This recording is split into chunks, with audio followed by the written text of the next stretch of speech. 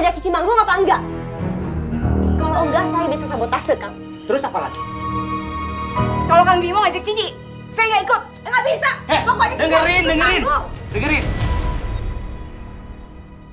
Kalau kalian ribut terus, kalian dua-duanya nggak akan saya ajak. Ya udah. Oke. So, tapi saya nggak tahu jawab kalau juragan Barja marah. Kalian kan tahu, kalau juragan Barja marah, diacak-acak. Asri, kamu nggak boleh begitu ya. Ini kan kesempatan kamu nyanyi lagi, ya. Kamu kan juga baru sembuh. Ya udah mendingan kalian akur aja lagi ya, biar kita ada kerjaan. Kalau kalian mau ikut sindang dangdut, harus bisa nyanyi bareng. Kumaha we cara? Sok pikirin. Liur. Biar mendingan kita nyanyi bareng yuk. Ayo,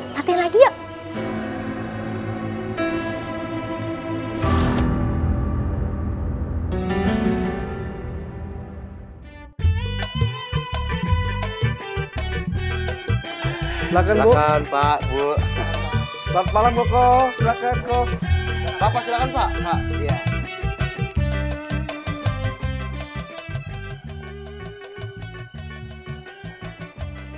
Karta, Masna. Iya, iya. Iya, Juragan. Mana penghulunya? Tadi sih saya sudah bilangin kalau dia teh suruh datang tepat waktu. Ya buktinya mana sampai sekarang? Kumaha kamu teh? Gimana kalau kita cari penghulu yang lain saja, Juragan?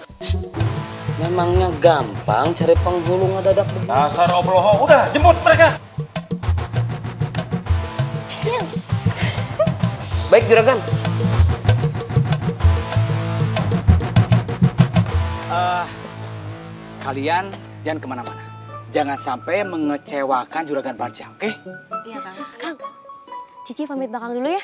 Ya, sok. Kang Bimo, begitu tuh, nggak bisa diatur. Belin banget. Astri, udah biarin aja. Lagian ini kan juga belum mulai acaranya. Tapi kan Ren nggak boleh. Asri dengerin saya. Kamu nggak usah ngurusin orang lain. Urus aja diri kamu sendiri. Perhatikan panggung, jangan sampai kamu keseleo. Paham?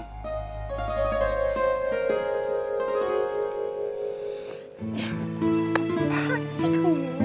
Udah sabar ya. Yaudah lanjutin makeup.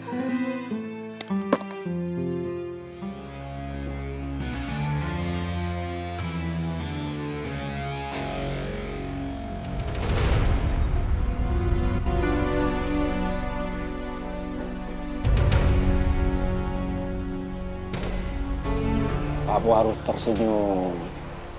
Ini kan hari kebahagiaan kita. Saya nggak akan pernah bahagia, Juragan.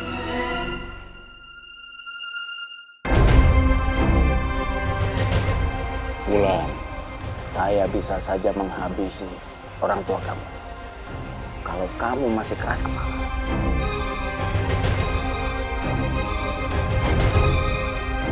Dharma harus lihat ini.